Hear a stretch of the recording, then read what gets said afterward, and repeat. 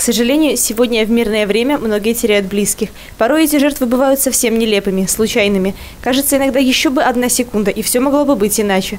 Накануне, в День памяти жертв дорожно-транспортных происшествий, по главным улицам города прошел автопробег.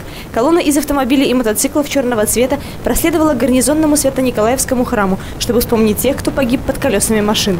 С начала 2013 года количество жертв ДТП на территории Брестской области составило 105 человек, 13 из которых в городе Бресте.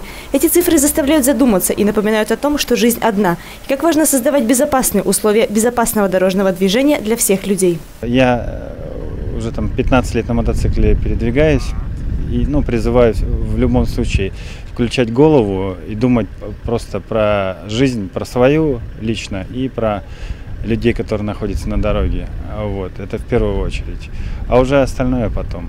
Во-первых, э, Участие в этой акции еще раз показывает на ту, ту важность и необходимость того, чтобы привлечь внимание людей, во-первых, э, к этой большой проблеме гибели на дорогах, именно пешеходов, не водителей, а именно пешеходов, которые гибнут на просто вот, переходя дорогу. И этим самым мы хотели, чтобы привлечь внимание людей, чтобы больше людей обращалось, э, были внимательны к дорогам. И в свою очередь, так как э, многие, все прицы погибли под колесами автомобилей, то есть мы таким образом выражаем соболезнования всем семьям погибших и э, показываем, что мы тоже за то, чтобы в будущем все было хорошо и прекрасно на наших дорогах. В этот день во многих храмах мира священнослужители совершили заупокойное богослужение. В память о жертвах ДТП в гарнизонном Свято-Николаевском храме настоятель Николай отслужил панихиду, на которой присутствовали семьи погибших. Именно в такие секунды наступает осознание того, насколько человек не застрахован от того, что с ним может произойти даже в ближайшее время. Люди задумываются о жизни, о том, что она может закончиться в один миг, если пренебрегать безопасностью. Отец Николай отмечает, что важно в этом случае молиться не только за тех, кто уже ушел из жизни по причине ДТП, но и за тех, кто в эти минуты перемещается перемещается по улицам, едет в общественном транспорте или личном автомобиле. Жизнь – это дар Божий. Не просто дар Божий, а священный дар Божий, который человек должен беречь однозначно. А как его беречь?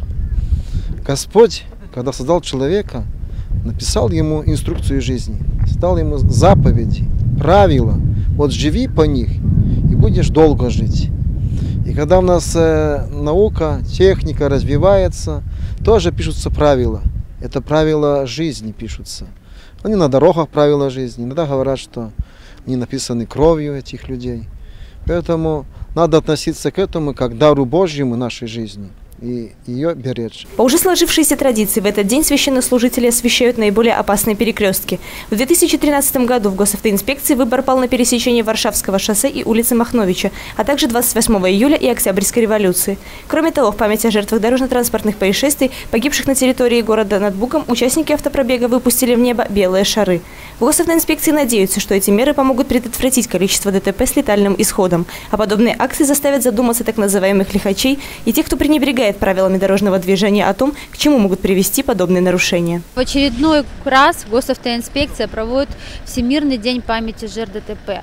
В этот день мы призываем всех участников дорожного движения вспомнить о погибших, о раненых дорожно-транспортном происшествии и присоединиться к проведению данного мероприятия. Очень приятно, что каждый год все больше и больше присоединяется, особенно молодежи, к проведению данного дня. За 10 месяцев текущего года на дорогах Беларуси зарегистрировано более 3,5 тысяч дорожно-транспортных происшествий, в которых практически каждый шестой погиб. Подобными акциями госавтоинспекция призывает водителей быть внимательными на дороге, а также соблюдать правила дорожного движения. Ведь дома вас очень ждут здоровыми и невредимыми.